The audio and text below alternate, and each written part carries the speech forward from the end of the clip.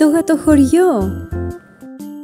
Μια φορά και έναν καιρό, κάπου πολύ μακριά, ήταν ένα χωριό στο οποίο μένανε πολλές γάτες και γι' αυτό το λέγανε γατοχωριό. Μια μέρα, ο δήμαρχος του χωριού, ο γατοδήμαρχος, φώναξε όλες τις γάτες στην πλατεία του χωριού για να τους ανακοινώσει κάτι πάρα πολύ σημαντικό.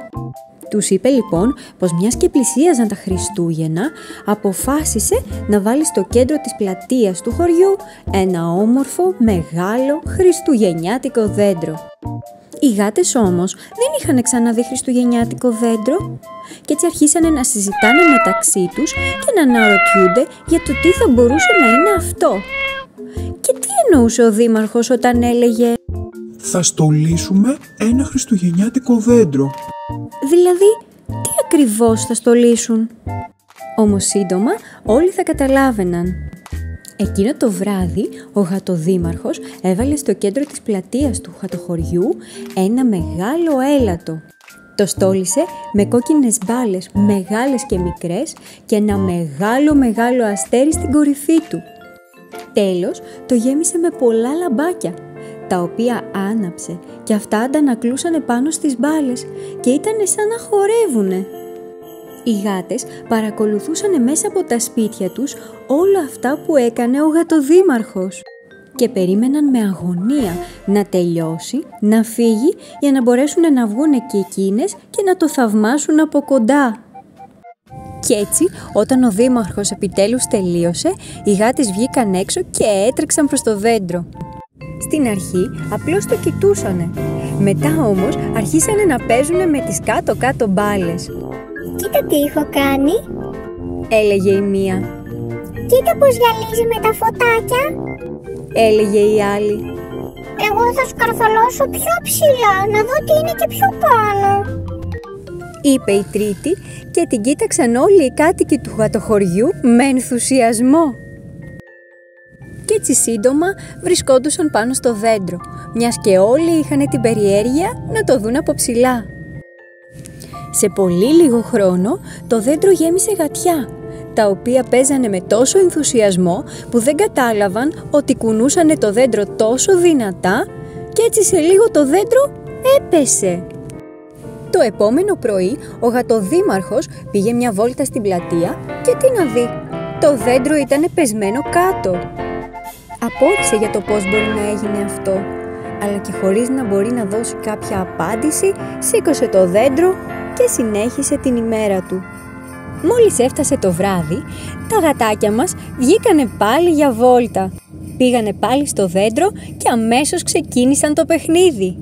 Όμως για άλλη μια φορά το έριξαν κάτω. Το επόμενο πρωί, ο γατοδήμαρχος είδε πάλι το δέντρο πεσμένο μέσα στο χιόνι. Αυτή τη φορά θύμωσε, γιατί κατάλαβε ότι το δέντρο δεν πέφτει από μόνο του, κάποιος το ρίχνει και έπρεπε να ανακαλύψει ποιος είναι ο ένοχος. Μόλις έφτασε το βράδυ, πήρε το γατοαστυνομικό και κρύφτηκαν κάπου να παρακολουθούν το δέντρο για να δούνε τελικά ποιος το ρίχνει. Και τι να δούνε, μετά από λίγο κατέφθασε όλο το γατοχωριό. Σκαρφάλωσε πάνω στο δέντρο και το ρίξε στο παιχνίδι για τα καλά. Απογοητευμένος, σκεφτόταν για μέρες τι θα μπορούσε να κάνει ώστε να πείσει τα υπόλοιπα γατάκια να μην παίζουν πάνω στο δέντρο και τελικά να μην το ρίχνουν κάτω. Στην αρχή μάζεψε όλο το γατοχωριό και τους μίλησε. Όμως τελικά δεν κατάφερε κάτι. Τα γατάκια συνέχισαν να πηγαίνουν κάθε βράδυ στο δέντρο και να κάνουν σκανταλιές. Μίλησε και με το γατοαστυνομικό, μήπως μπορούσε να του δώσει κάποια άλλη ιδέα και το μόνο που είχε να του προτείνει ήταν αυτό. Να ρίξουμε φαγουράσκονη το δήμαρχε. Έτσι την επόμενη φορά που θα πάνε μέσα στο δέντρο θα τα πιάσει φτέρνισμα και φαγούρα. Ο γατοδήμαρχος το σκέφτηκε για λίγο. Η αλήθεια είναι ότι δεν του άρεσε και πολύ αυτή η ιδέα, όμως δεν είχε και κάτι άλλο στο μυαλό του. Οπότε συμφώνησε Πήγε κρυφά στο δέντρο και άρχισε να ρίχνει παντού φαγουρόσκονη. Σίγουρος πια ότι είχε βρει τη λύση, έκατσε κάπου και περίμενε. Εκείνο το βράδυ ήταν Χριστούγεννα και συνέβη κάτι μαγικό. η φαγουρόσκονη μετατράπηκε σε μαγική χρυσόσκονη. Έτσι, μόλις τα γατάκια πήγανε στο δέντρο, φύσηξε ένα απαλό αεράκι και η χρυσόσκονη άρχισε να χορεύει γύρω από τα γατάκια. Τα γατάκια μαγεύτηκαν από αυτό που γινότανε. Κοίταξαν γύρω τους και κατάλαβαν πόσο όμορφο ήταν το γατοχωριό τους. Έτσι λοιπόν πήρανε την απόφαση να μην το ξαναρίξουν ποτέ το δέντρο κάνοντας κανταλιές. Θα ανέβαιναν εκεί πέρα πλέον παρά μόνο για να βλέπουν την όμορφη θέα του γατοχωριού τους. Και ζήσαν αυτοί καλά και εμείς... Καλή ιδέα.